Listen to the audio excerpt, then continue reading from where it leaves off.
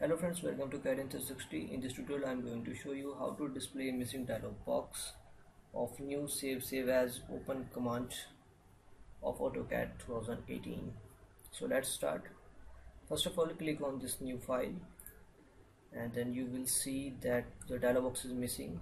The similar problem is for the open save and save as command okay so the solution is use FILEDIA command and then change its value to 1 then press enter.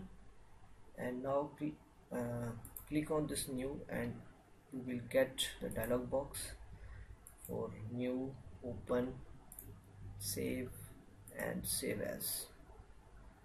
Okay? So that's all for this video. If you like this video then please subscribe for more tutorials